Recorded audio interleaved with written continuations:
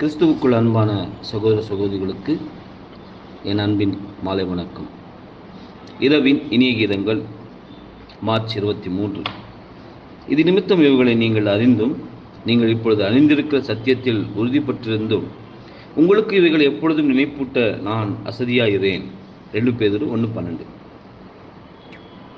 இப்பொழுது அணிந்திருக்கிற சத்தியத்தில் உறுதிப்பட்டிருப்பது என்பது வேதத்தையும் சாட்சியாகமத்தையும் எஸ்ஐயா எட்டு இருபது.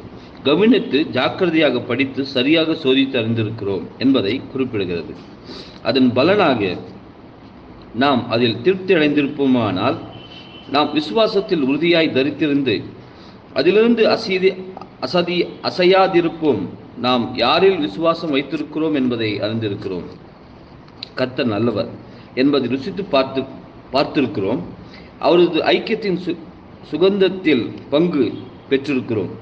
அவருடைய தெய்வீக திட்டத்தில் வெளிப்படுத்தப்பட்டிருக்கிற அவருடைய குருவின் நிறைவை உணர்ந்து சந்தோஷத்தில் வழிநடத்தப்பட்டு தெய்வ பக்தி விசுவாசம் மற்றும் சாந்த குணத்தின் ஆவில் நாம் பங்கு பெற்றிருக்கிறோம்.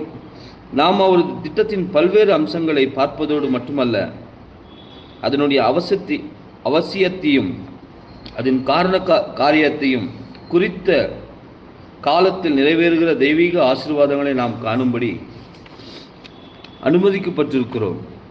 இதுதான் இப்பொழுது அறிந்திருக்கிற சத்தியத்தில் உறுதிப்பட்டிருப்பது ஆகும். உண்மையிலேயே இது மிகவும் ஆசிர்வதிக்கப்பட்ட நிலைமை.